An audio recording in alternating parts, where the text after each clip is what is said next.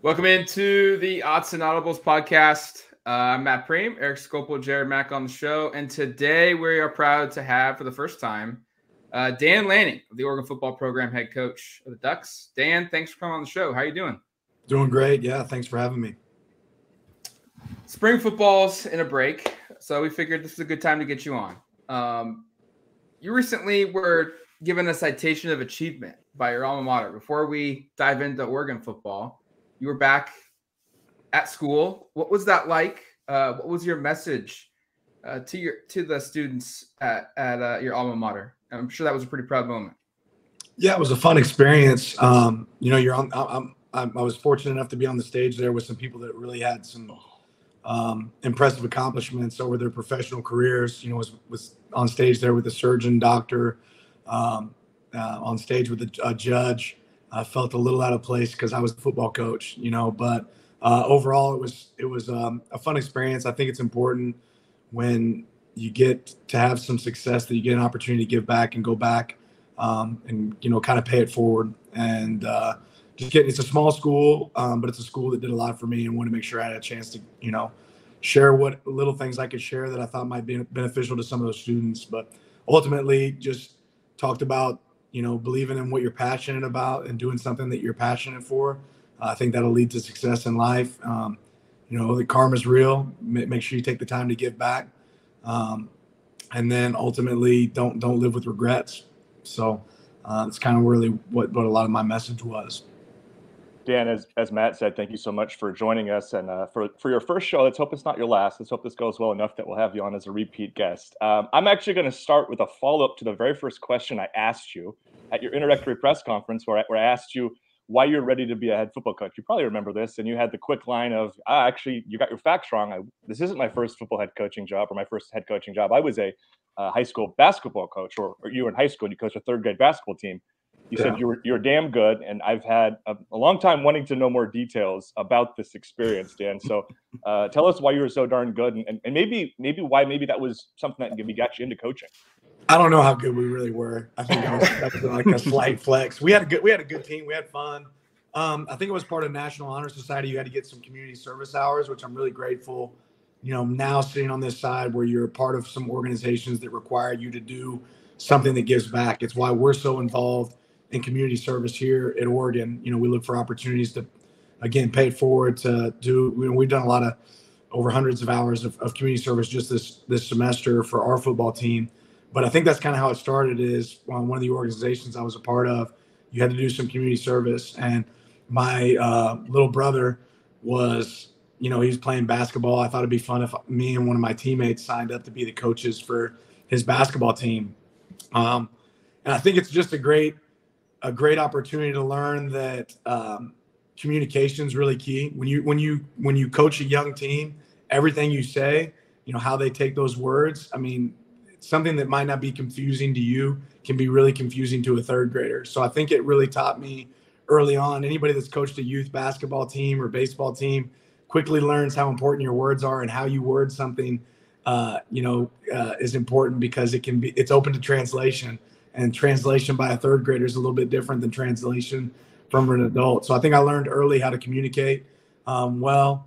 Um, I think I learned some of the traits that are really important for a coach as far as making sure the fun of the game still exists um, when you're coaching. I think I, I threw off you know, a lot of third graders early on when we started doing condition, conditioning at third grade practices, um, and they weren't necessarily anticipating having to run up and down the floor. But you're able to instill some early thoughts of, you know, what it takes to be successful. But that was a fun experience for me.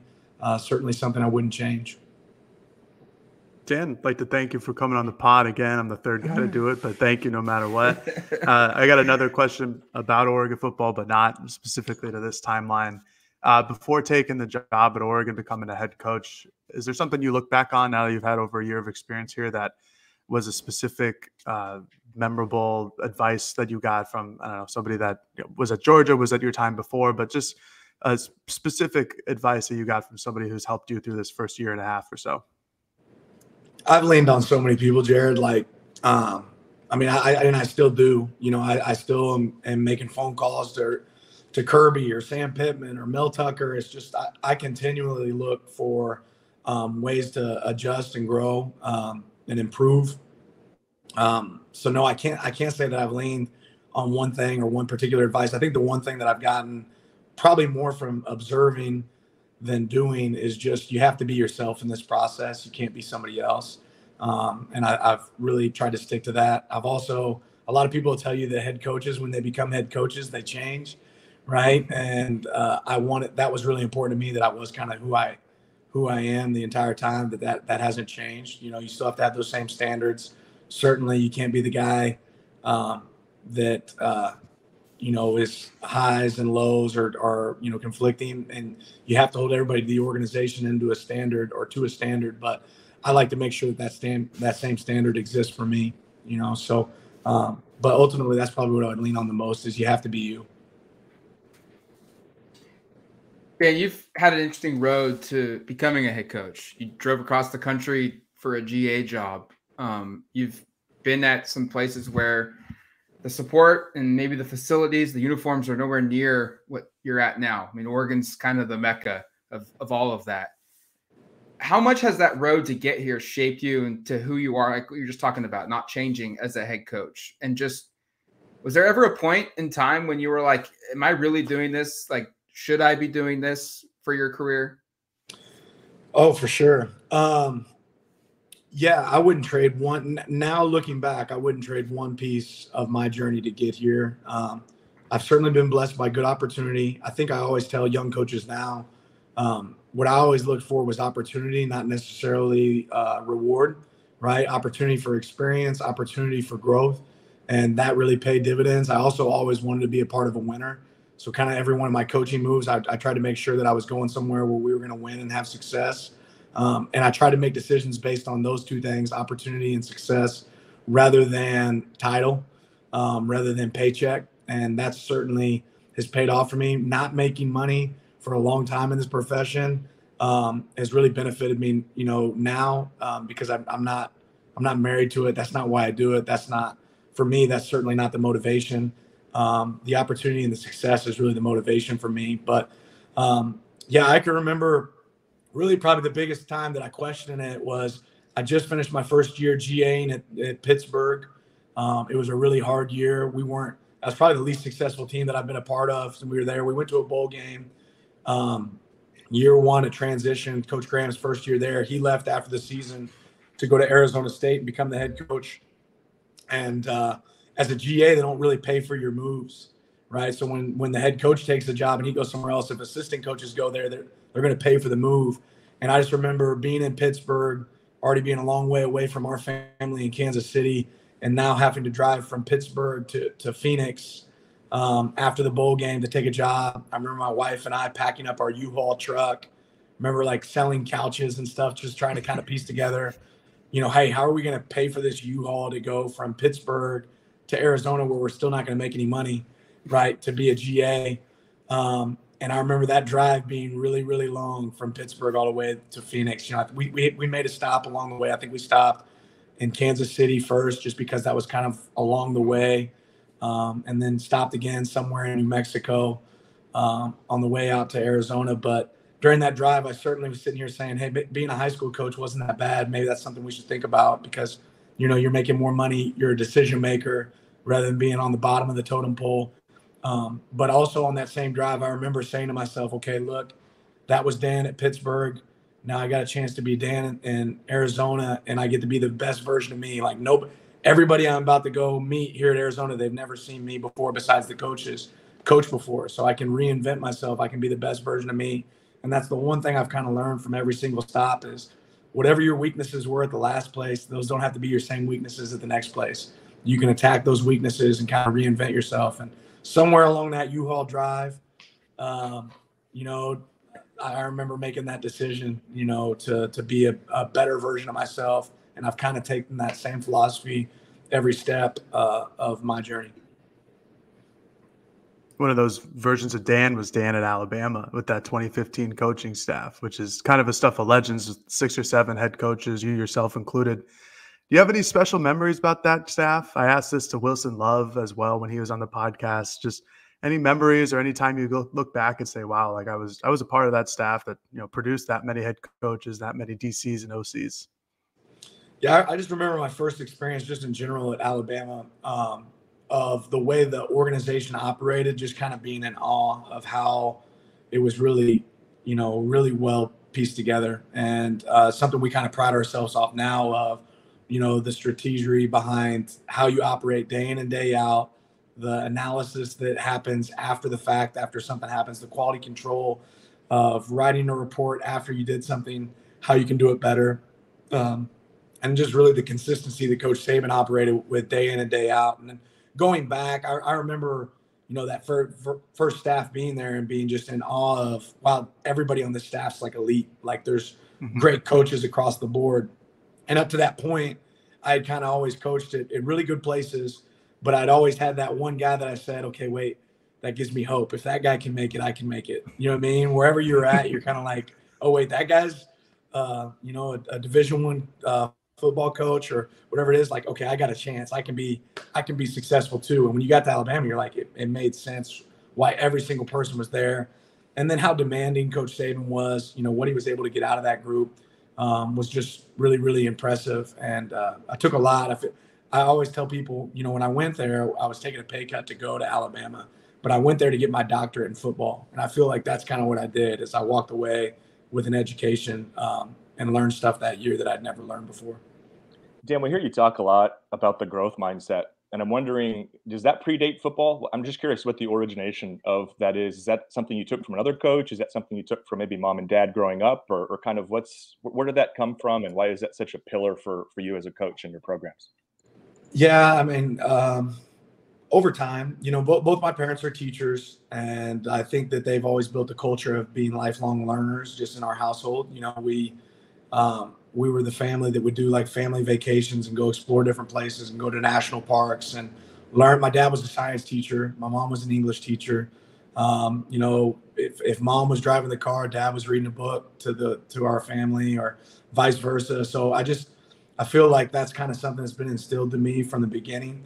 Um, and then ultimately, when you get around the best, when you're around great coaches and you realize that it's not so much that they're set in their ways, they are set in consistency, but they're not set in their ways. They're looking on how they can improve, how they can grow. That's something I always wanted to make sure that was part of our program and the direction we're headed. Speaking of your program, uh, it's spring football. I guess not right now, but in a couple weeks we'll be back on the field. What's your favorite drill that that you guys run? Like, what makes it so informative or, or positive for you? What what's what's that one drill that you just love doing? Um, I mean, inside runs fun, but that's eleven on eleven. When you start about like talking about breaking, um, you know, yeah, team run drill. But when you start breaking into smaller groups, there's a drill that we call mod bracket drill. It's basically a perimeter blocking drill um, where guys on the perimeter have to block and and guys on defense have to beat blocks and then make tackles. It can get pretty physical. Um, that's a fun drill to see guys compete. It's you and another man on an island in space, uh, and you got to go got to go there and operate. Dan, before the season last year, you said that you had a game day playlist. Yet you didn't you didn't go into that playlist. So I, I'm now giving you the floor to go into this playlist. I want to I want to hear what you listened to before the games. Let me pull it up on my phone. There's a lot Please of different do. stuff on here. I kind of uh, take you as like an 80s rock guy. Is that true? No, not no. definitely true. All right, so um, I mean it's literally everywhere. Like you got Master P, Bourbon's Cadillac or uh, and Lax, but then you got Counting Crows, mm. Colorblind, oh. Lil Wayne, okay. Drop the World, D12, um, Jadakiss, Mad World. You probably don't know that song. Michael Andrews, Gary Jules. Like, yeah, yeah, yes. I mean, it's a little bit everywhere. Trick Daddy, Rick Ross, oh. YG, Bush. I got Bush on there. Um, no swallowed. I don't know how Linger from Cranberries made it on this list, but it's on there. um, J. Cole. Yeah. Uh, Johnny Cash. I mean, it's a little bit everywhere, as you can see. Lil Troy, Nas. Mm.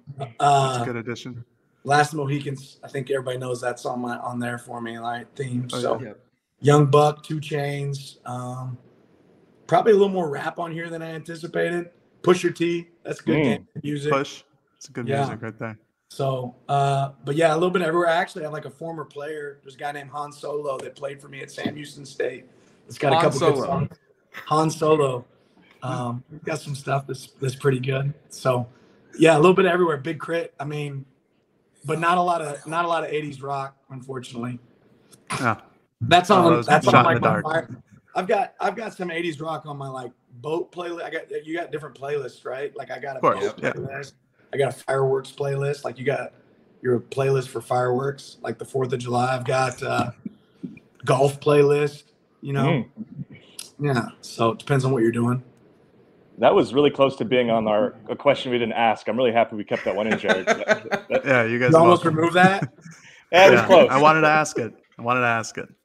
Yeah, There you go. we, we we had a long meeting before this. What we wanted to keep in that was that was kind of on the that was really on the verge of being on the. You didn't cutting think I'd open it up and tell you, did you? you No, No, no. not at all. No. wasn't. Yeah, I guess I did. Uh, maybe this probably doesn't segue great into the next one, but uh, a little bit off topic. But onto kind of more of answering and asking questions. Um, this is one I'm just curious on. We do a lot of talking, and most of it's us asking you questions, you answering. What do we ask you too much about, and what don't we ask you enough about? Here's an opportunity for you to opine about maybe some things that you'd like us to to, to check in on more on. Maybe the things that you, you, you can prefer we stop. criticize us for the first time. Yeah, um, good question. I mean, it, like, yeah, I don't know. I, I- I would say like the injury questions and the scholarship number questions are kind of like, why? What's the point? It doesn't matter. We're gonna have 11 guys on the field. I get it. It's Yeah. the part that's interesting to everybody, but we're gonna play with the best that we have available. I certainly get tired of those questions, and I don't. I always feel like when you're answering those questions, it doesn't give us an advantage. So I rather you guys ask questions that give the Oregon Ducks an advantage, not our opponent, right? Um, what do you guys not ask enough about? You know, I don't know. I mean, you, you guys do a pretty good job of having a variety of questions. You know, maybe it's just personal stories within each player. You know, I mean, uh, or staff member. You know, something unique to each one of those. Do we ask you enough about PFF? Yeah, enough.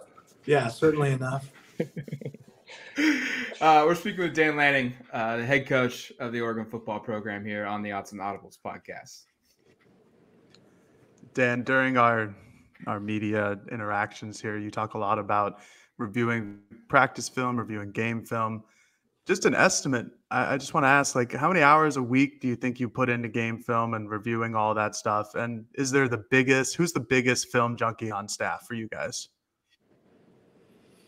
Yeah, I'd have a hard time answering that question. You know, like during season's a different mode, but you're up here watching film from the beginning of the day until you know late at night. And it's really just about like how much can you jam in. It's imagine like um, cramming for a test, right? Like five days out of the seven day week, you know. And as you get down closer to the end, you're a little bit more prepared, obviously. But from the beginning, you just start to absorb it and watch as much as you can. As far as junkies, I don't think I could pick. I don't think I could pick one guy. We got a lot of guys that really pour into film, and you know, you want to use film to be your, you know, your litmus test. It's your, it's like it's the, it's how you check and answer boxes. Like you have a kind of a check sheet of things that you want to look for.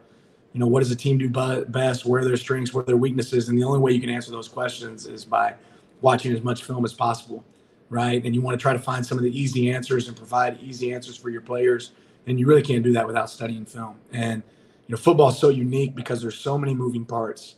You know, even you know, and and basketball it's five on five. We talk about eleven on eleven, the variables, the change of possession plays, the amount of variables. You have to have a good staff that does a good job of pouring in, and all you're trying to do is take complicated things and make them really simple for your players, and have simple solutions that can be complicated for your opponent, right? But you don't do that unless you pour hours and hours of time into film and have a process. Dan, you were just talking about maybe solving for on-field things. I'm, I'm curious on, let's say for you personally, like game management, clock management, things that you want to work on there. How like how are you practically working on that during a week in practice? Is are, there ways you do that, or are there things outside of practice? I'm just curious because that's one of those things I think um, I, I I have a hard time understanding of like okay, like maybe the clock, maybe you don't like how you did this there, this th- maybe this here. How are you actually going back and, and, and working to improve upon that?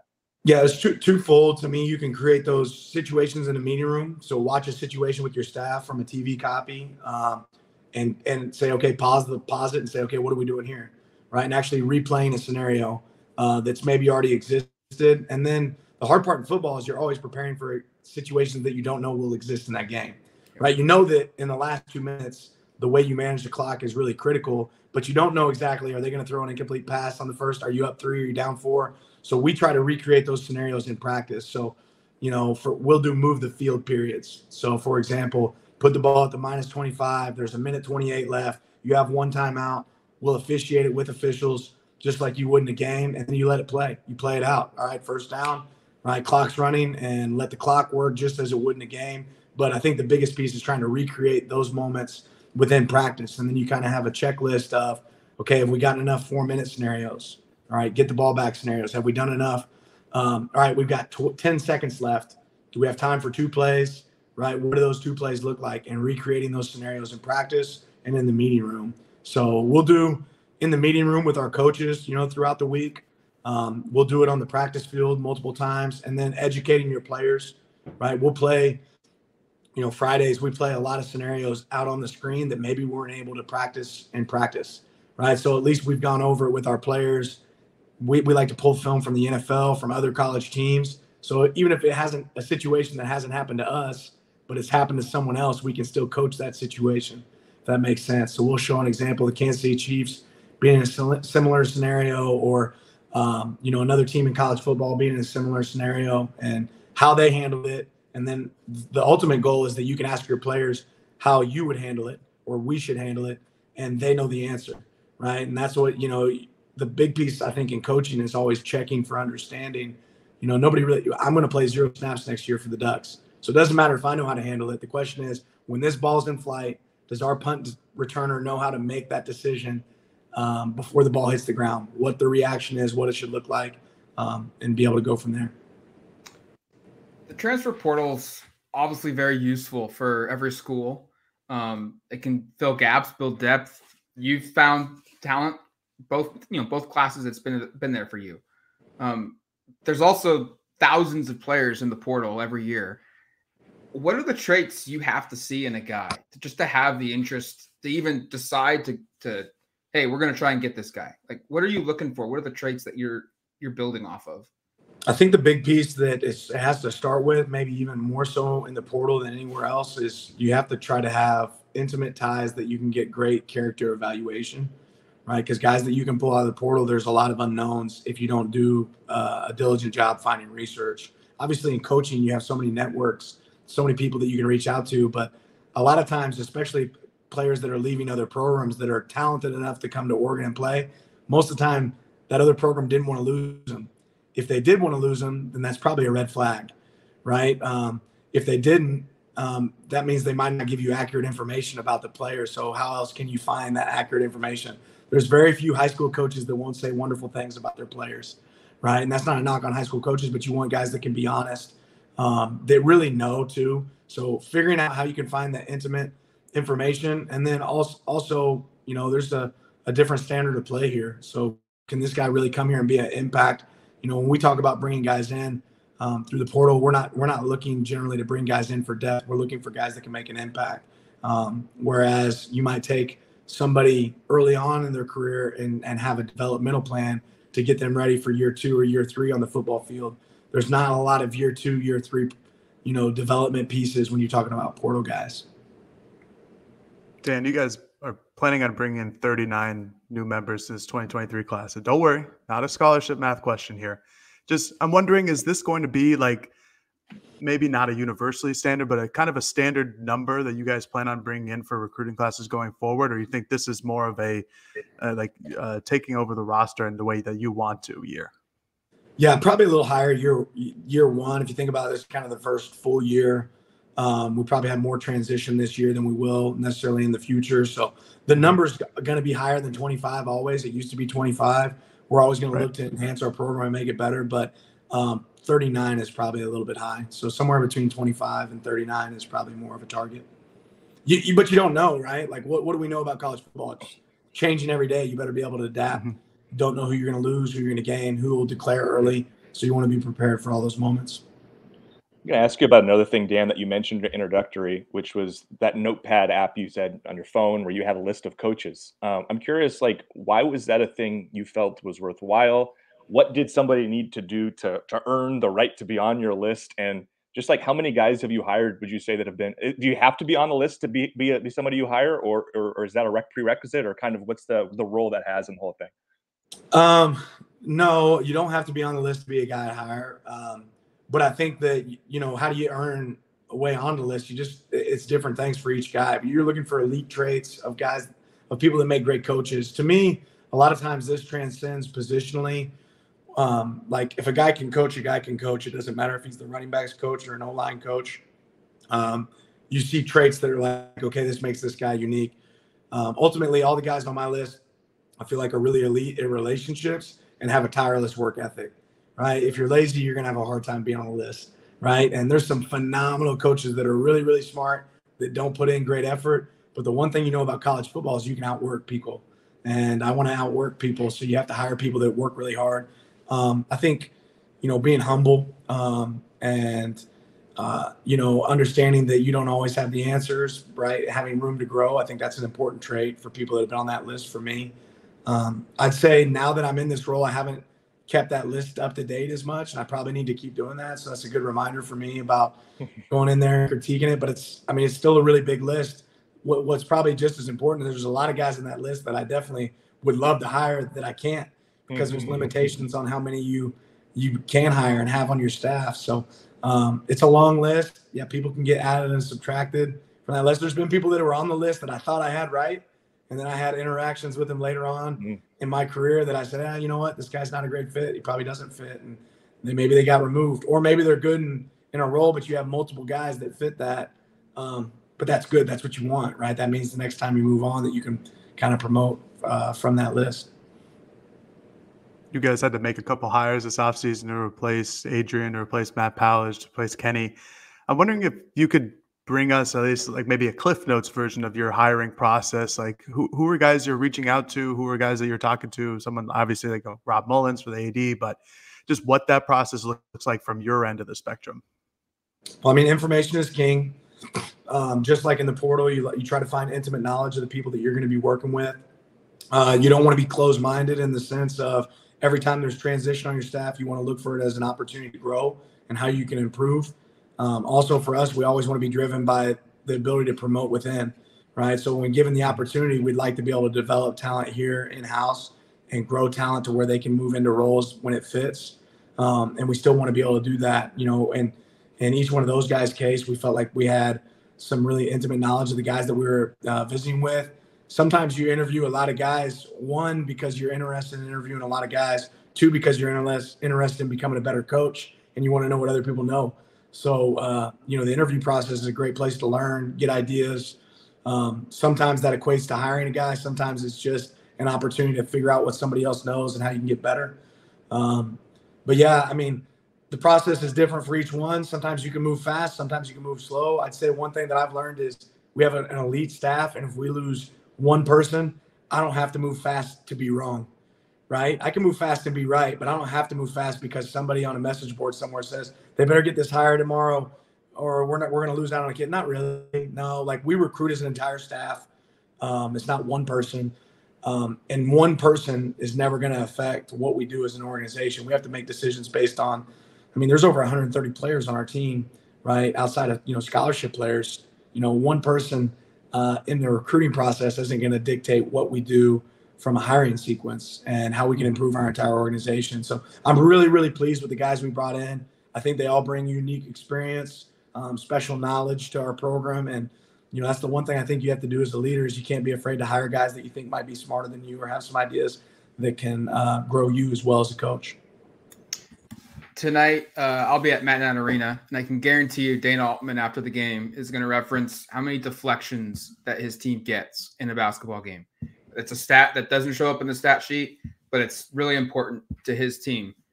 Uh, is there something like that on a foot in a, in scale for football that doesn't show up on the box score that during practice or during games that you guys just really track and, and view as critical for your team's success on the field? Yeah, uh, most things in football are tracked, you know, so that it, it, it is going to show up, um, I would say. But, you know, we, we talk about havoc rate a little bit on defense, and it's just, you know, I think it's really your ability to affect the quarterback, right? But the percentage of plays that you're going to create a negative play, right? An interception, a forced fumble, right? Uh, a batted ball, right? I think sometimes a batted ball from a defensive lineman goes as an unseen play, right? Or an uncharted play. I think the stat that probably won't show up um, is hidden yardage on special teams. Like a lot of times you might not realize it. Like let's say the punter kicks a punt, okay, and we fair catch that punt, but the punter generally kicks a 40 yard punt and we charge the ball and we fair catch it at 30 yards. In my mind, that's a 10 yard return, right? But on and statistically, it's going to be a zero yard return, right? It's a fair catch, but we just saved Game 10 yards of hidden yardage right? Because right. we caught the ball in the air. So I think hidden yardage and special teams really important. A lot of times, you know, your your return team might have a negative impact from how many yards they actually get. They average less yards per return, but that's not necessarily indicative of starting field position or how many yards they were able to swing it or you were able to make the punter kick a bad kick because of the pressure you applied. But I think affecting the quarterback, affecting in the kicking game are two areas that that, that can definitely show up. Last one for me, Dan, and thank you again so much for for joining us here. Uh, I think a thing you said on Saturday kind of stuck out when you were talking about Jeff Bassa and his progress, and you mentioned that the defense from year one to two will get easier for a player like Jeff. I, am just curious on on the why behind that. Why why is this defense something where there might be some growth you see um, from from year one to year two with and being involved with it? In college football today, your defense has to be multiple and have answers, right? Which means if they change the formation, if they change the structure of the formation, the defense has to change, right? Well, when you're talking about changes, you know, consistently within plays, within motions. I mean, right now in the morning, we're doing, you know, because we're not really in spring ball, we're doing projects, crossover projects. So our entire offensive team and our entire defensive team, I'm talking about really our coaches are presenting from the other side perspective. Like hey here's things that you guys do that are difficult for us and vice versa. Here's things that we do that are difficult for you. Um, things that show up in college football. We're studying other teams that are explosive for other teams that create negative plays. And you want to be able to decimate that information and get it to your players. Well obviously another year in a system you know especially for a guy like jeff that made a position change when he got here going from safety to linebacker now having to learn a new defense year two, when he already knows, hey, here's why we like some of these checks, he's thinking about it a little bit more almost from a coach perspective rather than a player. Um, I think it's a lot easier to solve issues. It's no different than, you know, year two Spanish compared to year one Spanish, right? Still the same language, right? But uh, there's a few more intricacies that go into putting together a sentence or writing a paper. When spring ball's over, what's next? For for the staff. I, I, think that's always been like the biggest like question. Like, what, what there's a three month lull or so about recruiting's always going on. I, I, say, I don't know that. what lull you're talking about, Matt. Recruit. like that's the that's it. Like the, like self assess, recap. What does spring ball look like? Where are our strengths? Where are our weaknesses? Right. Apply that information to the team that you have, which we don't know our team until we play football. Right. So we got to go play football to see what our strengths and weaknesses are. Reassess that, evaluate that, um, then we'll start some of our summer scouting report projects where we start putting together initial game plans for next year's opponent. That way, you're not doing it in a seven day window during the week of a game. You're able to pull back on information you gathered in the summer and then recruiting, recruiting and evaluation. How many camps can we get to to see players? How many times can we get guys on our campus? Right, we have to get elite players on our campus to be able to sign them up. Um, you know, come come December. Cool. Well, and then July, July, there's the lull. You get like a little bit of a window there around July 4th where we get to like see our kids yeah. and stuff. That's that's important. that's really important. Very. Um, Dan, thanks for coming on the show. Really appreciate the opportunity. Uh, hopefully, sometime down the road, we'll get you back on the show. If not, it's been a good run. Hey, it's a good run. Appreciate you guys. Maybe next year. Thank you, Dan. Works, works for us. guys. Have a good one. Thank you. You too.